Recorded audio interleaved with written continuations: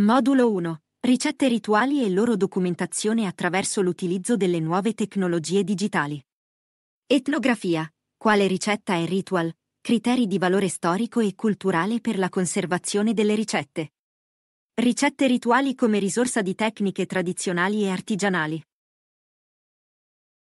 Al giorno d'oggi i media diventano cruciali per promuovere le antiche tradizioni locali, la cultura, il patrimonio, affinché gli altri possano conoscere, imparare e replicare.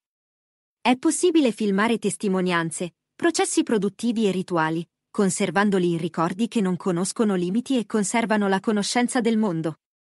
Le tecnologie si sono spostate, con una velocità inaspettata, dal computer al cellulare, e Internet ha raggiunto ogni angolo del mondo, rendendolo un mondo globale, una comunità digitale con ampi interessi e possibilità.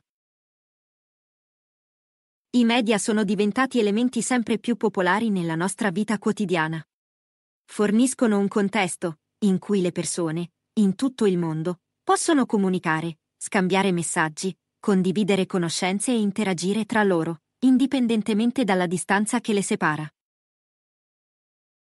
Il patrimonio culturale immateriale, compreso il patrimonio e le esperienze gastronomiche, sono cruciali nella raccolta di esperienze interculturali attraverso il processo di promozione e valorizzazione del patrimonio culinario. Il mangiare implica l'intersezione di strati sociali, politici, economici, ecologici e simbolici, il che significa che, un ponte tra natura e cultura e le storie dei media, possono essere un forte catalizzatore per trasmettere gli aspetti sopramenzionati alla società.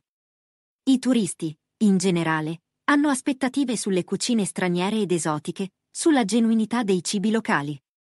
Poiché il cibo è, al massimo, una cosa alla portata del turista, i contenuti multimediali sono una fonte molto importante e un elemento inevitabile nella creazione di percorsi e raccomandazioni per un'esperienza di viaggio autentica e unica. Le persone, i turisti, tendono a utilizzare i media per integrarsi maggiormente nella cultura ospitante durante la loro visita. Se la comunicazione di massa nel XX secolo era meglio caratterizzata come un sistema uno a molti, in cui editori ed emittenti raggiungevano un pubblico in attesa, i mass media, grazie alle reti di informazione digitale, nel XXI secolo hanno assunto un formato molti a molti. Molti tipi di media, audio, video, testo, animazione, sono stati riuniti su piattaforme globali di computer e reti mobili, il che consente agli utenti di creare e promuovere i propri contenuti. Sebbene i social media tendano a formare il loro pubblico specifico e abbiano la loro forza unica in alcune aree, i canali stanno ampliando il loro spettro di possibili elementi testuali, fotografici, audio, video, grafici e di gioco, in modo che, alla fine, diventino enormi motori di produzione culturale con molte possibilità per gli utenti. Nelle prossime diapositive osserveremo i moduli multimediali. Il modulo multimediale è un linguaggio utilizzato da una storia e può includere testo, fotografie, illustrazioni, film, audio, saggistica grafica, moduli interattivi e molto altro. Queste forme vengono quindi riprodotte da qualche parte e quel luogo è un canale multimediale.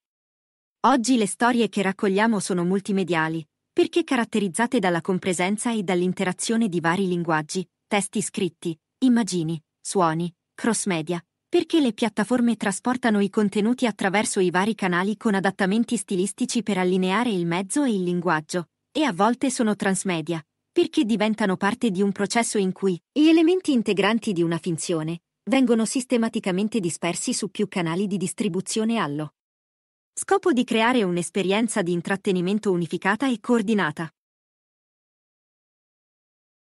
Esempio di storie multimediali, lo storytelling digitale si riferisce a contenuti coinvolgenti e interattivi pubblicati sul web.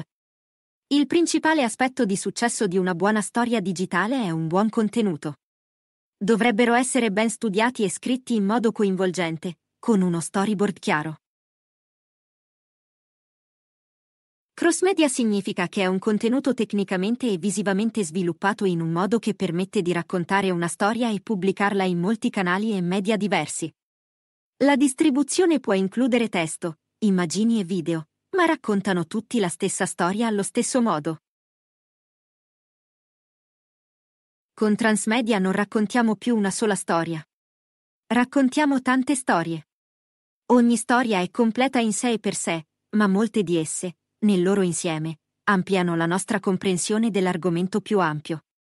Lo storytelling transmediale si sforza anche di prolungare il coinvolgimento con una storia non ripetendosi. Raccontiamo più storie diverse in forme diverse e le posizioniamo su molti canali.